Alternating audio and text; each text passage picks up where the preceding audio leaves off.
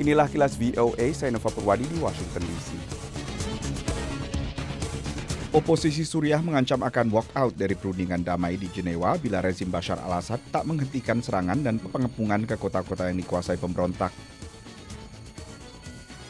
Pertemuan membahas langkah bersama menghadapi kelompok negara Islam Irak dan Suriah ISIS berlangsung di Roma, melibatkan Menlu dari 23 negara. Para bakal capres Amerika mengalihkan kampanye ke New Hampshire setelah pemilihan pendahuluan pertama di Iowa yang dimenangkan oleh Ted Cruz di Partai Republik serta Hillary Clinton di Partai Demokrat meski Clinton hanya menang tipis di atas Bernie Sanders.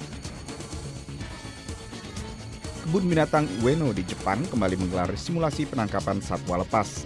Kali ini sekitar 150 petugas bekerja sama menangkap kembali zebra yang lepas.